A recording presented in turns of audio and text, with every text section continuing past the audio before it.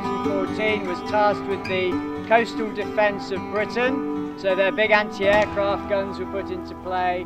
Uh, they had observer balloons and blimps and all that sort of thing. The Trust uh, pays its way by doing air shows around the country. But it's in non-airworthy condition at the moment. It apparently has got some original bits. aircraft flew in the remake of the 39 Steps, Kenneth More. Oh, I remember that, yeah. So we see Kenneth More running across the Highland. The replica does have a tail wheel, because that's... Every pilot, yeah, Right, third.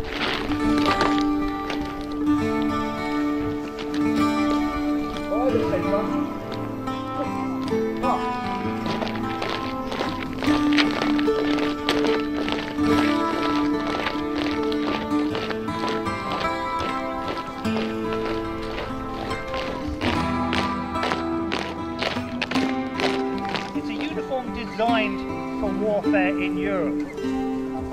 help to keep you cool. Jack!